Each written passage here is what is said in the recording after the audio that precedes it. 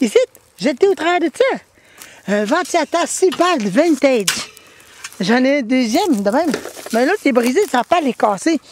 Mais là, il celui-là, il est cassé, mais il est là en bon état. Je sais qu'il est cassé, mais ça, c'est. Ce réparable.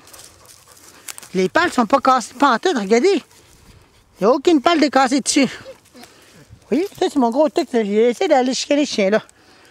Non, mais il n'est pas cassé, voyons. Hey, c'est vieux, ça. C'est- ancien, c'est vintage.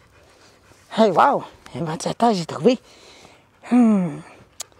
Faudrait que je vienne le chercher pour venir le, le cacher. Venir l'apporter chez nous. Parce que ces ventilateurs-là sont. Voyons. Look, hey, look.